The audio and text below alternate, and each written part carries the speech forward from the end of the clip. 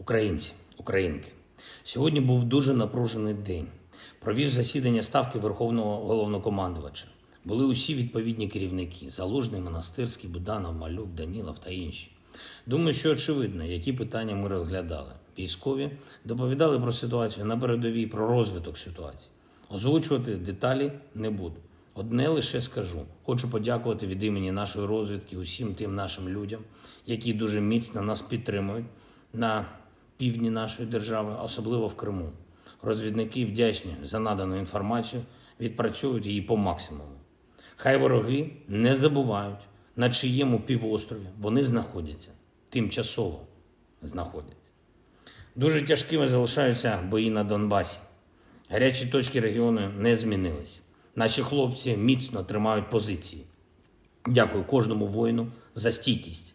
Провів сьогодні нараду з представниками парламенту і уряду України щодо поточних планів державної роботи. Взяв участь в роботі дуже респектабельного форуму в Чехії у Празі під назвою Форум 2000. Він був заснований Вацлавом Гавелом і привертає суттєву увагу в Європі. Звернувся до учасників форуму і закликав їх посилювати підтримку нашої держави в цій війні і захист всієї Європи від російського тиску. Зокрема, має бути нарешті врегульовано питання щодо обмеження європейських віз для громадян Росії. Вважаю, що це принизливо для Європи, коли її розглядають просто як один великий бутік чи ресторан. Європа це територія цінностей, передусім, а не примітивного споживання. І коли громадяни держави, яка хоче знищити європейські цінності, використовують Європу для своїх розваг чи шопінгу, для відпочинку коханок, поки самі працюють на війну, або для того, щоб просто мовчки перечекати аморальне падіння Росії, яке відбувається саме зараз, то це абсолютно протирічить тому, заради чого взагалі Європа об'єднувалася. Європейське об'єднання мало на меті підтримку миру на континенті, роботу на спокійній і демократичний розвиток європейських країн. Європа не може ставати морально глухою, і ніхто з європейських лідерів не спише на наслідки ковіду те, що гроші їм нібито не пахнуть. Бо якщо буде така глухота, якщо буде така втрата здатності розрізняти запах крові на купюрах, то не буде Європи, не буде мирної Європи. Я вдячний тим європейцям, які розуміють, що у час війни обов'язок будь-якої просто нормальної людини боротись за те, щоб агресор програв.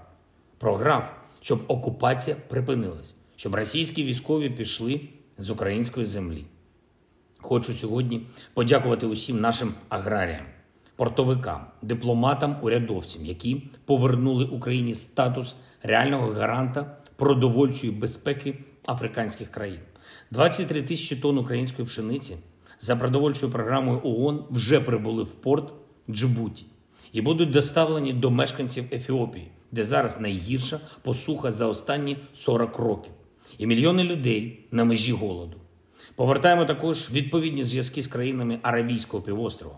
Майже 40 тисяч тонн пшениці направляються в Ємен.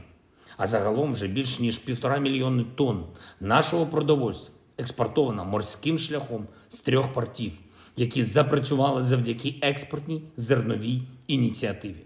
Робимо все, щоб світ відчув значення України і був вдячним нашим людям. Підписав сьогодні указ про нагородження наших воїнів. 149 учасників бойових дій відзначені державними нагородами, із них 15 посмертно. Завжди будемо пам'ятати наших героїв. Вічна слава усім, хто воює за Україну. Слава Україні!